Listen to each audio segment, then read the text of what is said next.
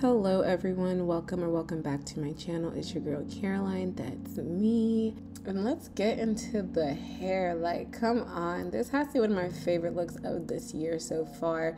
So in today's video, I'm going to show you how I achieved this look, take you through the journey of the install from out of the box to my scalp but this is not going to be one of my typical super long and lengthy videos. I wanted to do something a little bit different shorten it down for you but still give you some information here and there. This is more of a express class i would say. You know i don't want to beat you down to death with cons- consistent three hour long videos. Unless y'all like that. If you do hey i got y'all. Now with that said if you're interested in how i achieve this look and want to know more and giveaway let's get into today's video so the hair I'm working with today is from UNice Hair Company. This is their kinky straight wig. This is part of their newer HD hairline, I believe. So it's more like plucked out and definitely was plucked out. This is a 13 by 4 transparent lace wig and they sent me 24 inches of this kinky straight hair. Here is how she's looking straight out of the box. Kinky curly, kinky curly hair or kinky straight hair in general is always super full. Like I believe this is just regular density and it's super duper full. That's one thing I like about the kinky textures. Only thing is sometimes they can be a little bit hard to tame, but I really love these textures because they're so natural and mimic my natural texture really well.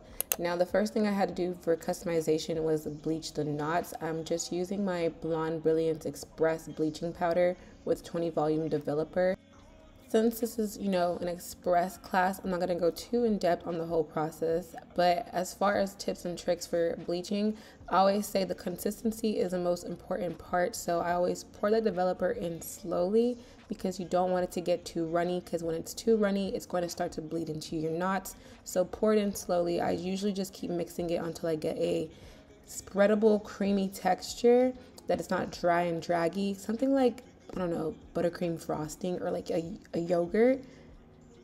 Once I get my desired nice creamy texture that's not runny, I'm using a little wooden popsicle stick to go ahead and bleach the knots. You can use anything to apply the bleach, just nothing metal because metal does oxidize the bleach, which is going to cause it to react faster or not even react at all.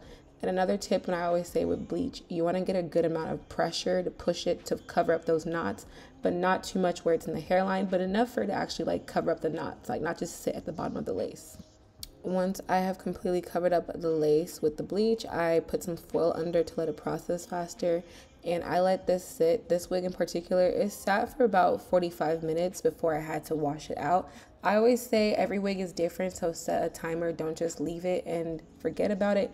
Set a 15 minute timer, keep checking it. You want the knots to go from black or whatever dark color it is to a blonde brown color. And you can always tell when your knots are bleached when you flip the wig under and it's like orange under. That's how you know you've bleached the knots. But Anyways, so now I'm just going ahead and shampooing out the knots and I am using this neutralizing shampoo.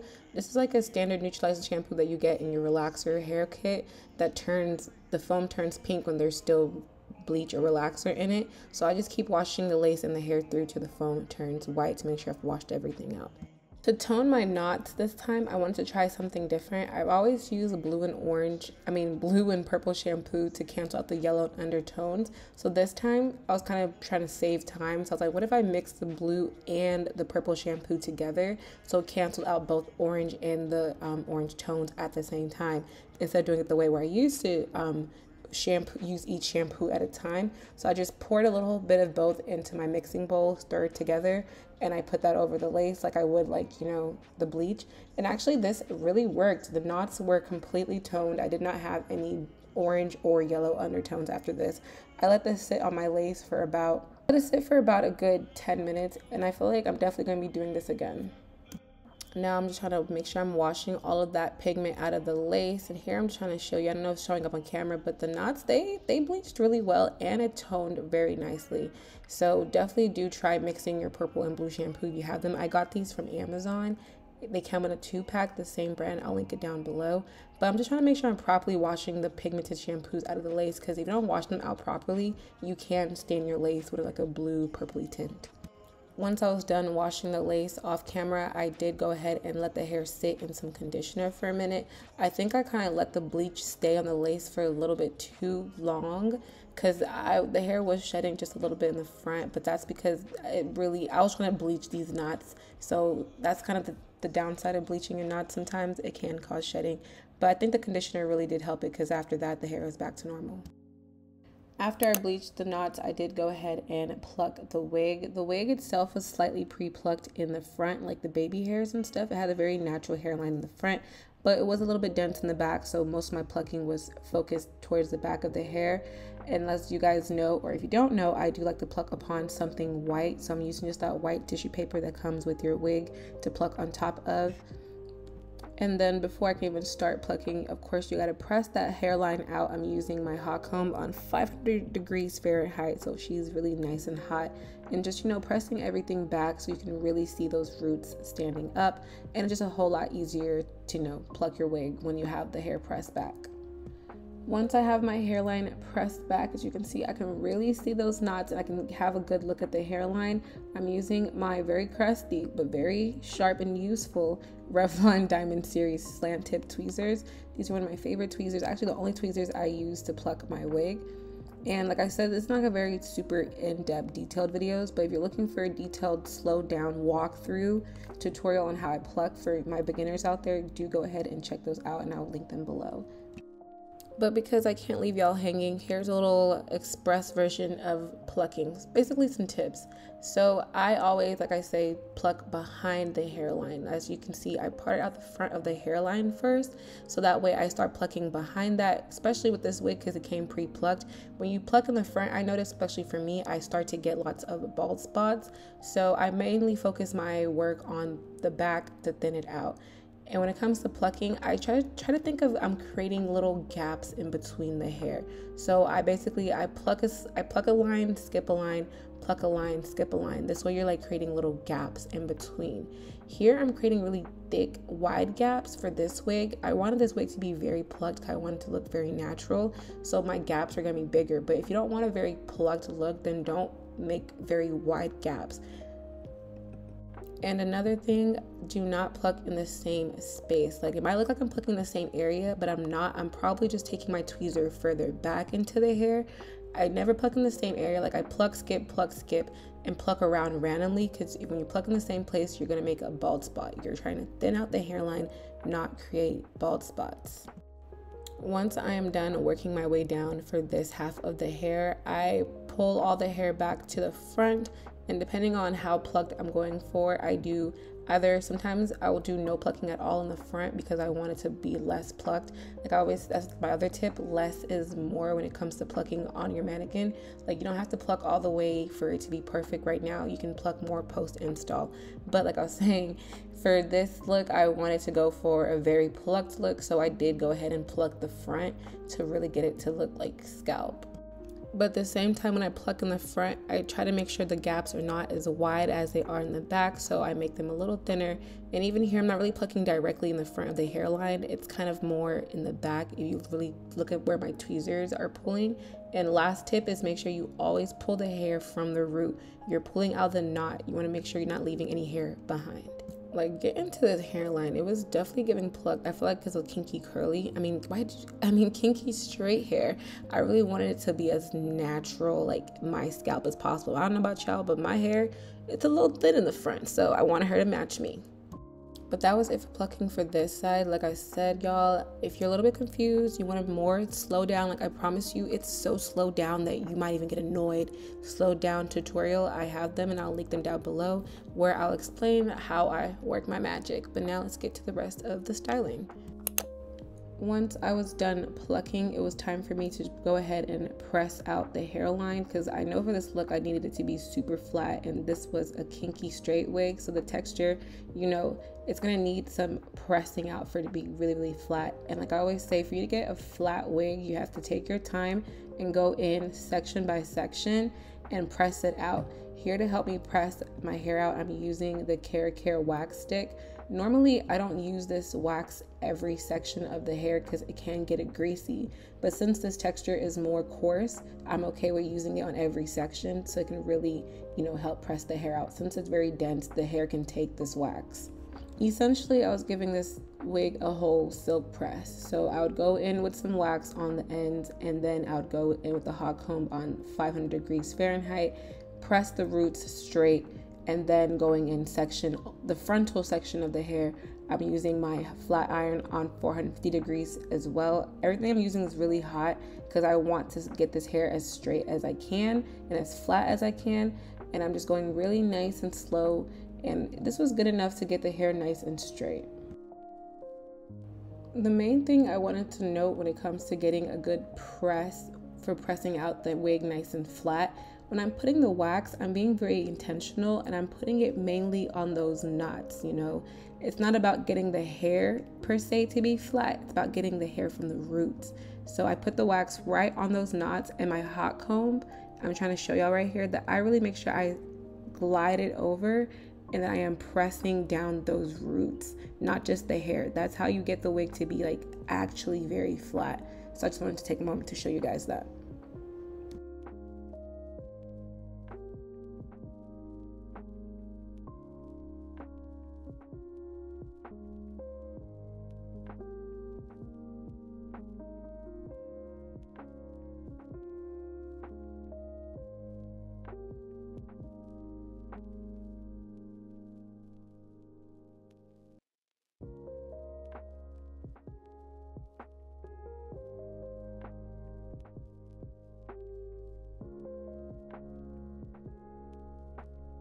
After I'd pressed out all the hair in the front, the frontal, I went ahead and started straightening the hair. I really had to do this on the mannequin because it's the only way I can make sure I'm getting the roots of the hair because I really wanted to get this wig to be as flat as possible given that it's kinky straight hair.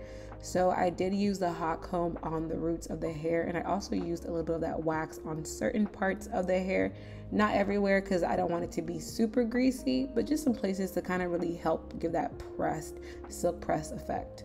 After pressing the hair out, I gave the ends a nice little chop and trim just to really clean them up because hair always just looks a lot healthier and fuller and it just looks more cleaner when you have your ends cut. So I always cut the ends off. Because I knew what hairstyle I was going for, I decided to just start styling it on the mannequin because it's going to be a lot easier. So I have the hair sectioned out for the two side parts and the hair pressed to the back. Hi. So it's the next day, right? And I was trying, I was trying to finish the install in the style, but I was having the hardest time getting a good grip on the ponytail. I don't know, I suck at getting good ponytail grips. So I was like, you know what? I'm just gonna take this wig off and continue styling it on the mannequin head like I was doing before. Styling on the mannequin head, honestly, it's just so much easier. Because I can see everything.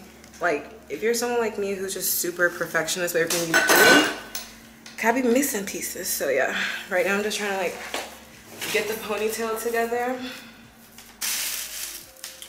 Like the ponytail don't even have to be that perfect. It's just I wasn't getting it tight enough. It was looking lumpy and I didn't want a lumpy ponytail.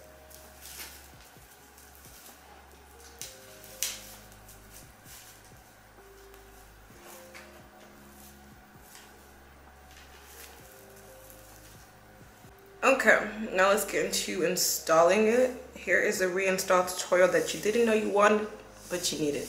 I did tint the lace yesterday, so I'm not gonna do that right now, but I always tint my lace wigs with my Maybelline Fit Me foundation in the shade, shade Warm Coconut, and I just put that under the lace, so the lace is an exact match of my skin tone. Boy, I need to get my hair done so soon. All right. Oh, let me be careful. I forgot. I have a ponytail situation going on. See, now, why does this look ridiculous? How am I going to do all that work? Hold on, I'm trying to cut off all this random ass extra lace. So reinstalls are very straightforward. I just, you know, lift the lace. I have all these little, my braids are so crusty. I'm trying to like push back my real hair because I don't want it to come out. And I just spray under the lace. Always make sure you're distributing that product around. And I try to get, once I've done that, I put it back down. For the sides, sometimes I gotta like spray on top as well. Like in between. You're gonna try to spray mainly on the lace, not the hair. Just to help, you know, getting all that extra residue and build up until the hair doesn't get crunchy. Once I've sprayed it, now my blow dryer, I like to blow dryer and like whatever flat comb I can find, some flat thing, just push it all down and lock it in.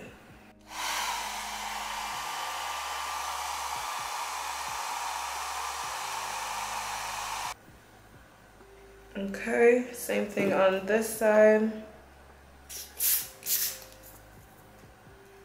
Sometimes I'll spray on top if I can't lift the lace, like right here. So I'll spray on top and just make sure I'm using my fingers to spread that product around.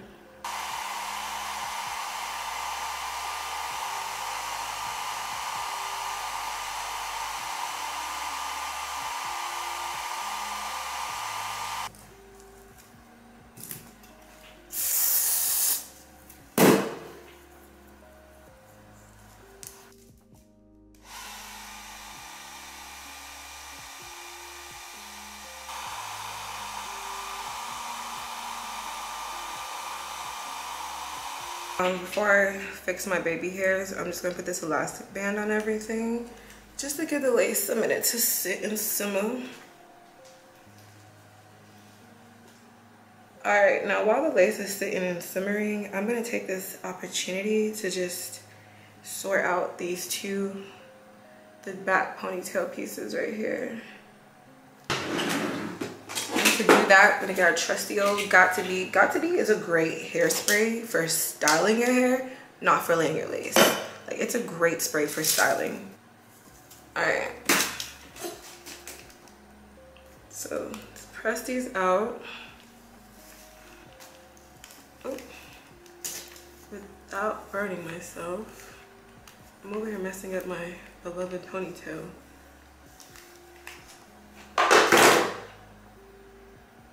And I want this to be as flat as I can get her.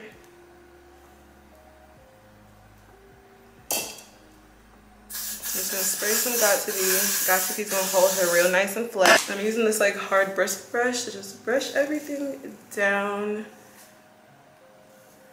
like so. Brush it real nice and flat.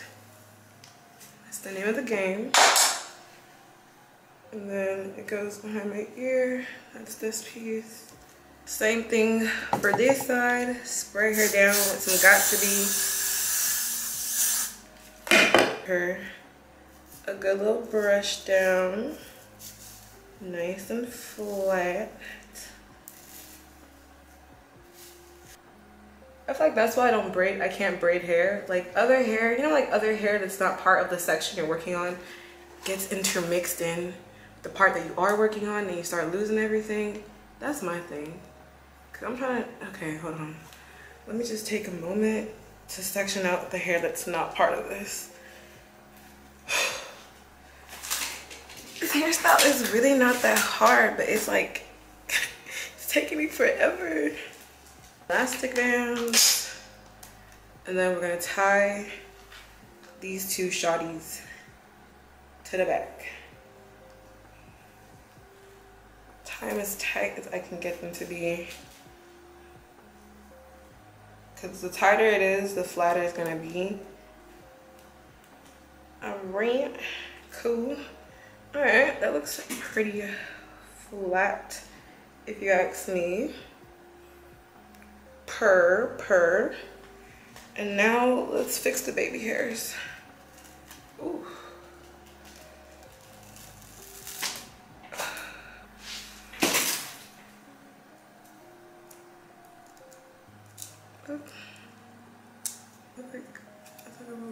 It.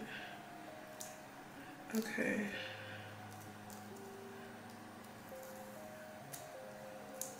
And now I'm just combing out these baby hairs that are all hard and crunchy from the spray. And I just gently comb them out to help loosen them up, you know. Ooh. Have mercy.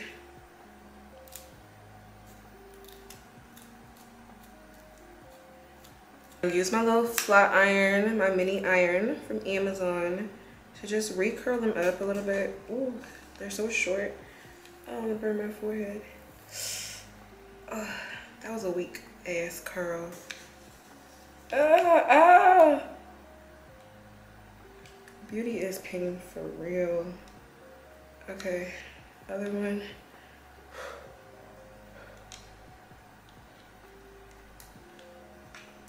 I'm just doing little weak curls.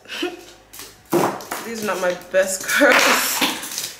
I just have burned my forehead so many times recently that I'm not even gonna risk it. Until lay the baby hairs, you already know, Miss Eco Styler, she's the one. And we're just gonna swoop them back up. Come on guys. Get in the club, get in the car.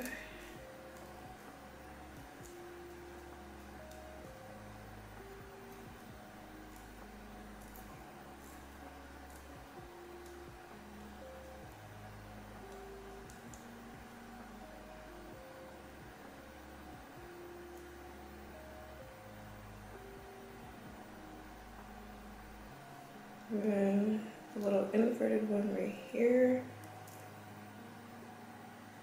I just like adding little inverted baby hair swirls.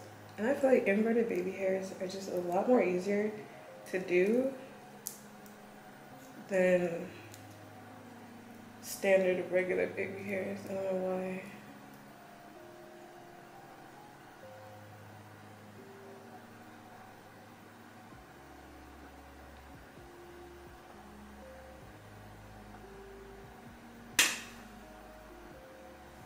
You know what?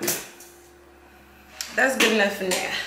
Come back to These days, I don't even like to stress myself over my baby hairs.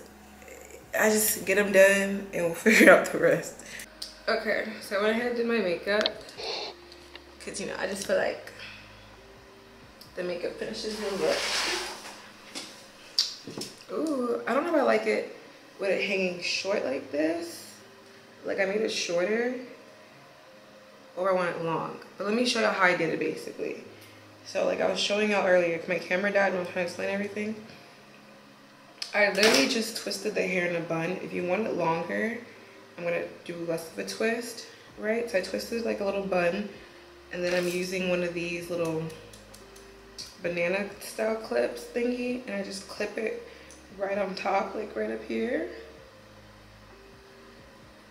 Just clip it and this is how it looks if you want more of a longer. I think I want it longer. And I just flip it back like so. And you gotta like play around with it. Like I was, oh, oh, oh. See, I ain't clip it right. She wasn't secure. See, I should have just left it alone. I was trying to show y'all what I did. Oh my gosh. See, now I messed up the look. Okay. And then, yeah. So this is how it looks. If it's longer, it's not neat though. I have to like, I don't know, like it long or short. Mm. I think I like it shorter. Yeah. Shorter has more like a little attitude to it. So to make this shorter, take the clip out. Literally just twist it one more time around, like so. And then get the little clippy, clip it under, and then flip it out. Yeah, I think I like it shorter. It's like more spiky this way. And now I'm gonna like tease it to make it like have that spiky look on purpose. I'm just gonna back comb it at the roots right here. Around with it till it's falling in the shape that I want it to fall. I'm just like trying to fluff it out. Give her some sass. And then some that Got2b to like spray it in places so it can st stay sticking up a certain way. But just like a light mist. It needs to be centered in the middle. It's not in the middle. Okay, and now to make the part pop, I'm gonna put a little razzle dazzle. Stomach hurts. I'm gonna go ahead and put a dab of concealer. Let's put some concealer in the middle just to make the part pop. Yeah, y'all see that. And then let's blend that out. Just putting mascara over the part two just to make it more straight. Okay, here we are with the finished look and I'm into it. Like I like it a lot. Like it's definitely giving exactly what I needed to give. Like I don't know. That's why I've been like went ahead and wore silver today so I can give it a grunge vibe because the hair is giving like grunge pop. Like it's like rock star to me. So I was like, okay, I'm gonna wear like my rock star clothes, which means just wearing silver, honestly. Got my little silver earrings and stuff. And my shirt, just like super cool. I don't know. Got it from AliExpress. But yeah. Oh, this is so cute. It's fun. As far as the hair, all that silk pressing I did, the hair is already like poofing back up. That's the thing about kinky straight hair. Like it like to stay in its kinky texture. Like it's already poofing up, honestly. This is fun. I like it like this. This works. How y'all feel about the look? Y'all like it? Y'all dig it? Yes, no, maybe so. Now, with that said, we've made it to the end of another lovely install. So it's time for me to bid you guys adieu. Make sure you like, comment, and subscribe. And editing Caroline here. I'm currently editing this video. I'm about to post it on the New Year's. And I just realized this is my last video of 2022. I wanted to say Happy New Year's to everyone if you're watching this on New Year's. Shout out to us, shout out to you. You made it to the end of the year. I don't know, this year has kind of, I felt like I've gotten really closer to you guys and gotten to just put myself out there more and also hear a lot from y'all. And I just, I don't know. I just feel something close with us. And I'm just really happy that I have that. It makes me just feel like I'm not doing this for no reason. I also wanted to take a moment to like just also mention the last giveaway because I haven't did the giveaway for this video.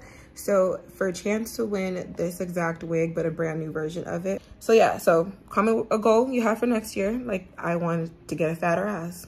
You do that.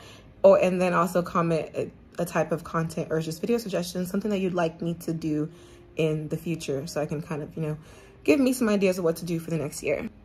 I'll just pick at random. I'm gonna use like a random comment section generator thingy. I'm gonna pick the comment section from now, so from December 31st all the way to January 2nd, Monday, to give y'all give y'all a chance and I'll just pick at random. And of course, you know, rules are you have to be com you have to be following me, subscribe to me, because you know, this is for my girls. If you're not following me, then you're not one of my girls. Like, why'd I get back to you? You know what I'm saying? anyways let me stop rambling because it's come a whole thing but happy new year's to all of you. Shout out to you. I'm proud of you. I'm proud of me. We did it. And if you're spending new year's alone don't worry because am i. Like this new year's i'm chilling at home. Like really i'm my bed. I'm editing. I'm about to make me a mood board. I'm manifesting greatness into my life next year. Like next year this year is my year. I already claimed it. It's my year. And it's gonna be your year too. It's gonna be the best year you had the best year i have. Even if it's probably not, let's be delusional. Be delusional and say it's going to be. So I'm praying and wishing the best 2023 into all of us and as me as well. And, you know, yeah. So with that said, peace out, Girl Scouts, and goodbye.